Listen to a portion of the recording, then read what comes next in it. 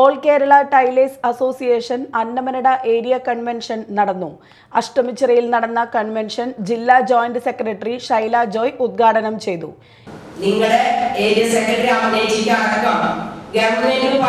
ആ റിട്ടയർമെന്റ് ആനുകൂല്യം വളരെ കുറച്ച്.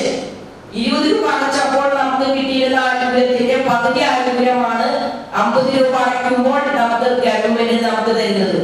അതിനെതിരെയാണ് നമ്മൾ പല കേസുകളും കൊടുത്തു. പല ചർച്ചകളും നടത്തി. പല നിവേദനങ്ങളും മന്ത്രിമാർക്ക് സമർപ്പിച്ചു. എന്നിട്ട് പോലും കണ്ണു തുറക്കാൻ കഴിയാത്ത ഈ ഗവൺമെന്റ്. നമുക്ക് രാഷ്ട്രീയമില്ല. കക്ഷി രാഷ്ട്രീയമില്ലാത്ത നമ്മുടെ സംഘടനയാണ്. എ കെ ടി എന്ന സംഘടന.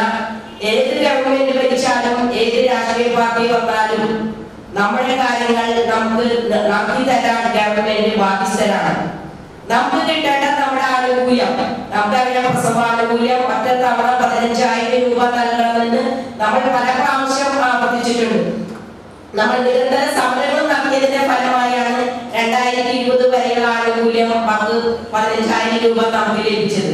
ഇപ്പോഴും നമ്മുടെ മക്കൾക്ക് അല്ലെങ്കിൽ നമ്മുടെ സഹോദരിമാർക്ക് രണ്ടായിരം രൂപ വരെ പ്രസവാണികൾ കിട്ടിയിട്ട് പതിമൂവായിരം രൂപ ഗവൺമെന്റ് കൊടുക്കാതെ നിൽക്കുന്ന ഒരു സാഹചര്യമാണ്. നിങ്ങൾക്ക് എല്ലാവർക്കും അറിയാം. ഇപ്പൊ കുടിശ്ശിക. നമുക്ക് പലർക്കും ഇവിടെ പെൻഷൻ പറ്റിയ പലർക്കും കുടിശ്ശിക കിട്ടാനുണ്ട്. ഗവൺമെന്റ് എന്ന് നമ്മുടെ പെൻഷൻ ഫോം കൊടുക്കുന്നു. ചീഫ് എക്സിക്യൂട്ടീവ് ഓഫീസർ എന്ന് അതിന് സൈൻ ചെയ്യുന്നു. അന്ന് മുതലേ നമുക്ക് പെൻഷൻ കിട്ടുകയുള്ളൂ. Area president P T Xavier അധ്യക്ഷത വഹിച്ചു. അമ്മിനി സുകുമാരൻ സുഭദ്ര ശങ്കരനാരായൺ ലൈജ വർഗീസ് ഷീല സദൻ മേരി ഇഗ്നേഷ്യസ് എന്നിവർ സംസാരിച്ചു.